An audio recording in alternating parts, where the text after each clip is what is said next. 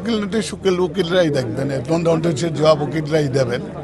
এবং প্রধানমন্ত্রী যদি কিছু বলে থাকেন, নিশ্চয়ই তার পেছনে যথেষ্ট তথ্য আছে এবং সেটা প্রমাণ করা যাবে।